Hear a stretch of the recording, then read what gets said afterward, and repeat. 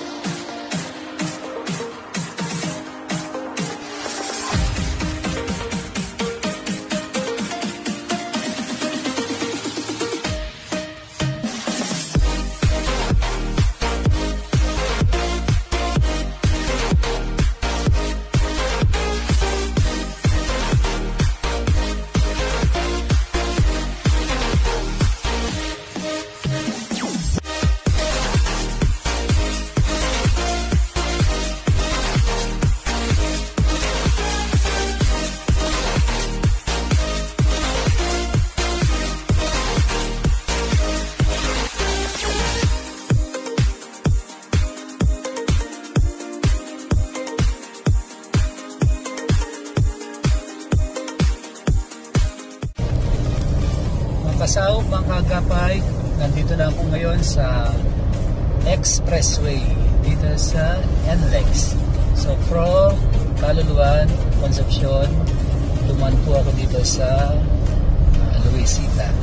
So from uh, toll gate ng Luisita, diretso kami sa Dolores.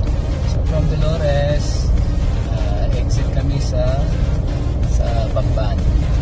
Then dun sa mataas na tulay ng Bamban, malapit na doon yung grotto ng Lourdes.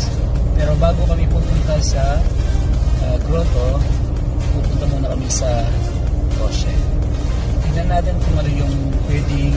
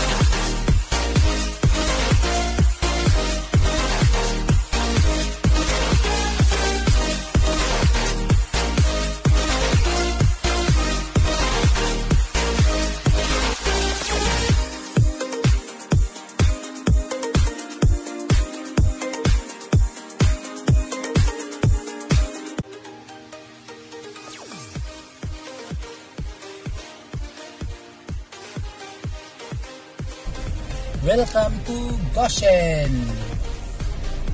Amo kuya naman, oh, malaga ko.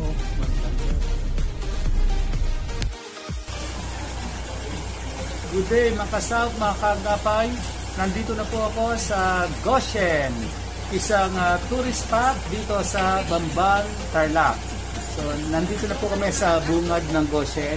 Sa office, actually may bayad po yung entrance dito. 150 pesos per head. Yan. So, yung mga balak, mga plano na magpunta rito, maganda po kayo ng pambayad ninyo ng 150 pesos. Ayun po. Kikita po ninyo yung mga turista po na nandito ngayon. Ayan sila. Papunta rin po sila sa office para magbayad ng entrance. Makikita po ninyo kung gaano kaganda yung uh, bungad ng Goshen.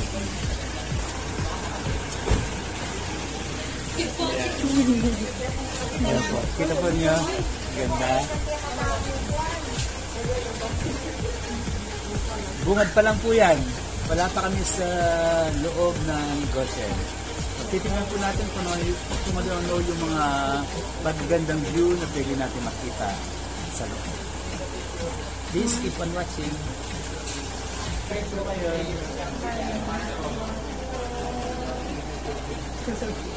Yan po yung mga magagandang turista po kasama ko.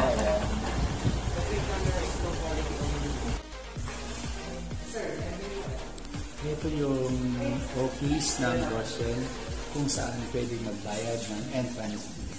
Ito kung samahan nyo mga makikita natin sa loob ng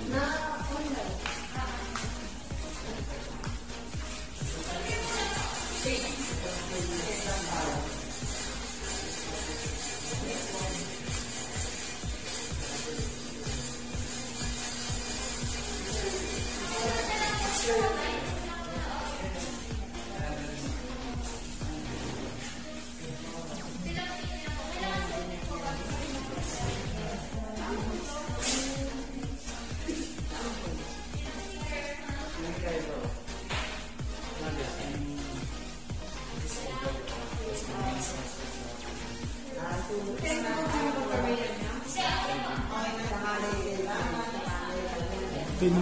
pictures nung kinoconstruct pa lang yung yung Goshen.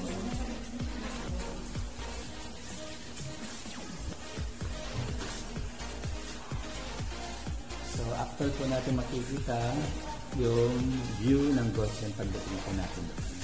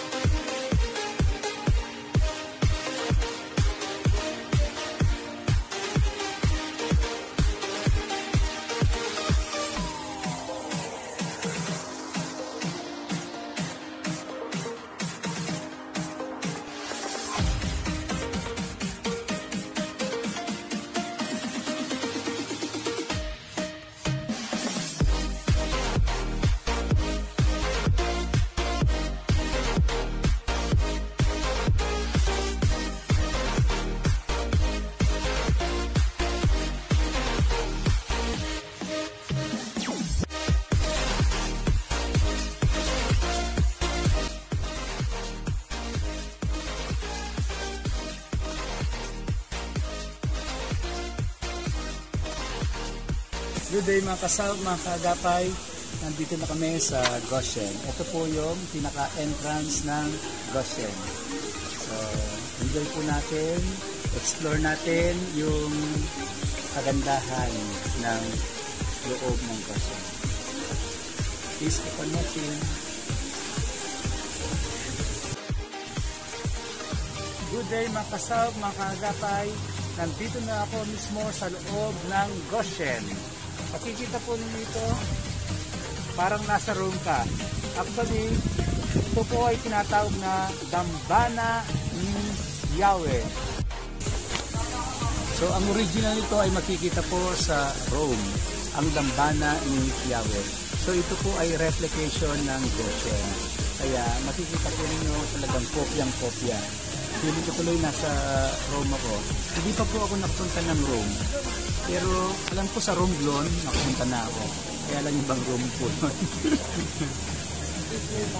so, makikita po ninyo may mga po na nagpupunta dito. Ibig sabihin talagang nagugustuhan po nila yung napakagandang lugar na ito.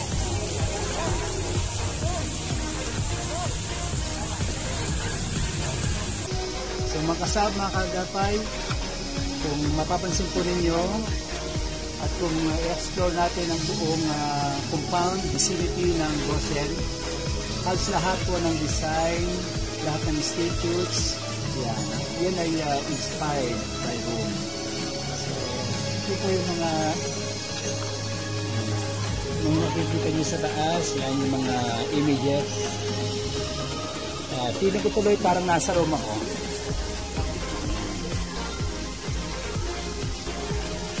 Hindi pa po natin masyadong nalilibot niya na-explore yung buong compound.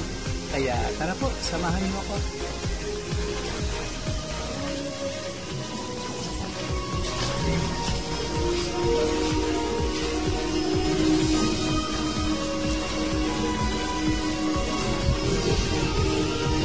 Samahan niyo ako.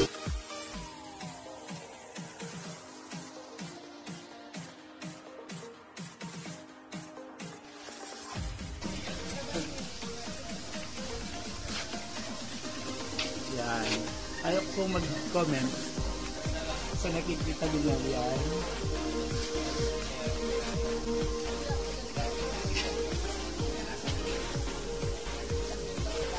Parang nasa room talaga ako. Naganda sa loob ng Goshen.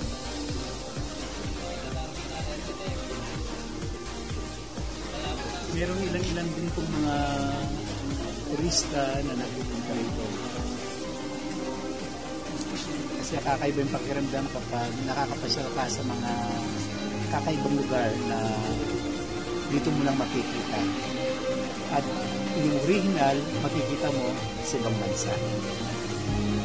So parang mga daming mga imitations, mga replications na ginawa dito na makikita mo lamang sa ibang bansa. In particular sa Rome. Mga kasal, mga kagapay, makikita po ninyo itong statwang sundalo na ito. Mukhang galit po ata sa atin. Kung familiar po kayo sa Roman Empire, meron po siya mga sundalo noon. Ganito po. Ganito po yung itsura. Ganito po yung mga kasuotan ng mga sundalo nito sa Roma.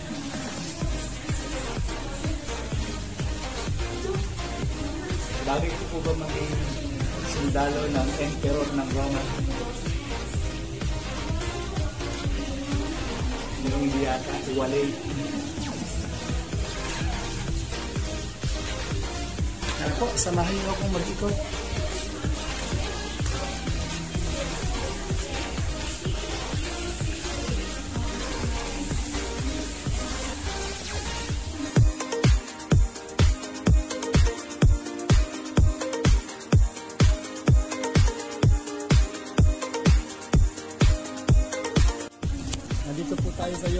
Ngayon, mga kasab, mga kagapay sa taas nitong dambana ni Yahweh. Kung mapapansin po ninyo, may mga parang mga hotels dito. Yan ay mga room accommodation. Kaya pwede pong mag-overnight dito yung mga gustong mag-stay ng overnight. Then, mamaya po, makikita natin yung napakagandang pool nila dun sa may uh, malapit sa entrance. Kita po ninyo merong mga lions doon.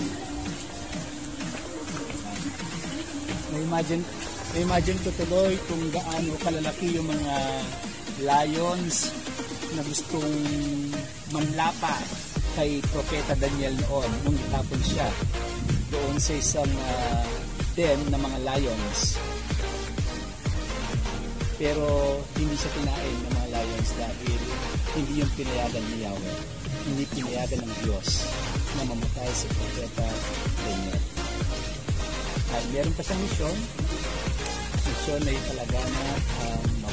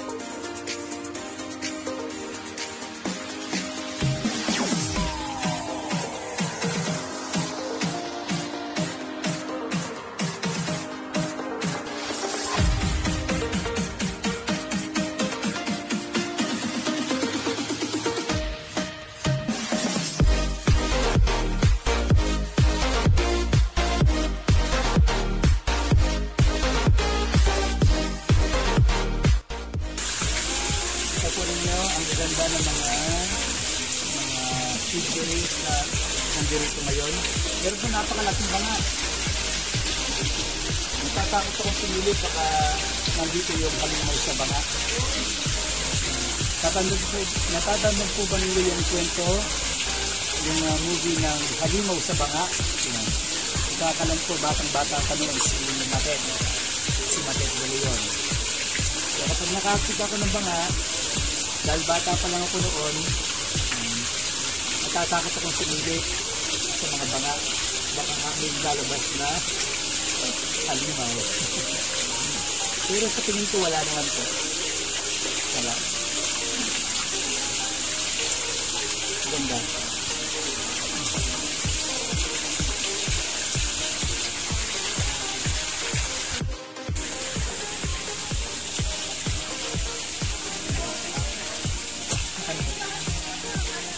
Kasab, mga kagapay, papansin po ninyo na mayroong mga ilang turista na nandito ngayon sa Goshen. Yan. So, i-enjoy din po nila yung napakarandam view sa loob ng compound. Ay, pwede, pwede po ba kayo mag-view sa ating uh, YouTube channel? Hello po. Hello po. Pwede po bang mag-view kayo? Taga po kayo? Po kayo, mag-view po kayo sa YouTube channel o view. Ano mo?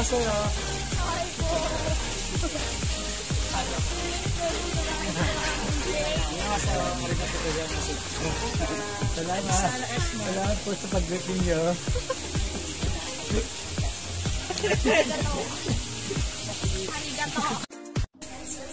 Makasab mga kagapay, nakikita po ninyo na mayroong mga Latin words na nakasulat dito na uh, inspired by Rome na building na ito.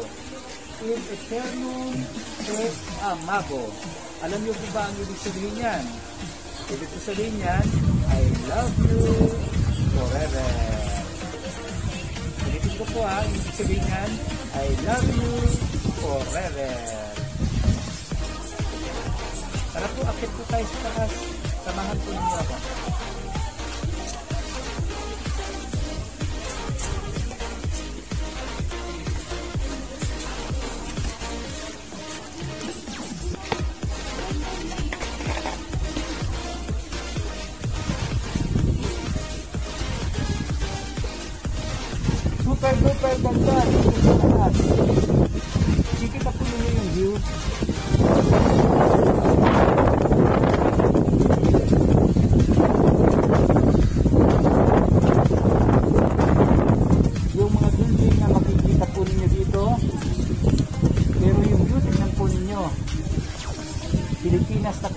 Ang dating. So, itong kagandang view, dito lang po matatagpuan sa Bambang Tarlac, Philippines. Tara po!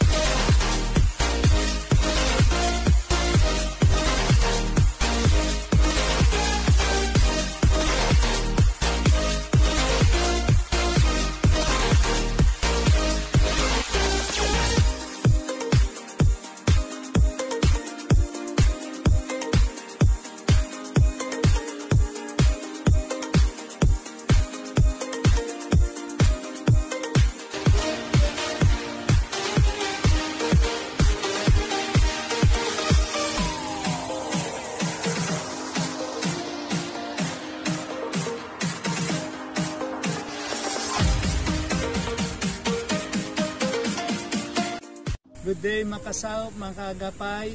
Ito po yung ah, bungad ng Goshen. Napansin po ninyo, bungad pa lang ito. Napaka, napakaganda na naman. Dito kayo, samahan ako dito. Kunwari, imagine natin ako si Samson. Samson.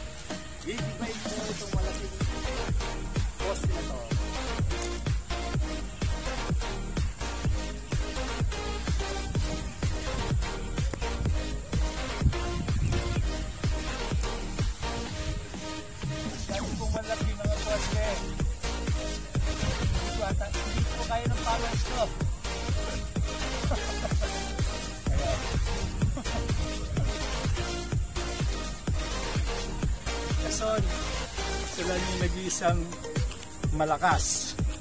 Pinakamalakas na tao sa buong mundo.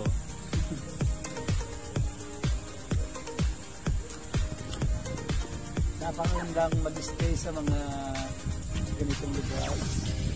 Tahimik, peaceful, sarap magmuni-muni. Kaya hindi nakataka-taka kung bakit si Jesus noon palagi siya nagpupunta sa mga ilang na lugar. Hindi lang para makapagpahinga, kundi para magdasal. Likot lang po tayo dito para makita ninyo yung napakagandang view. Huwag po tayo mag-jogging dito. Jogging lang po tayo dito. Kasi marami kami ikutan dito. Saka mag-share TikTok ha. Dito tayo mag-TikTok.